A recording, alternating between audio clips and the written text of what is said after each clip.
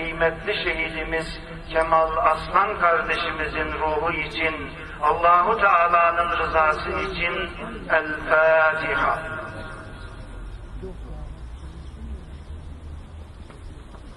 Hepiniz helal Evet. Değerli izleyenler.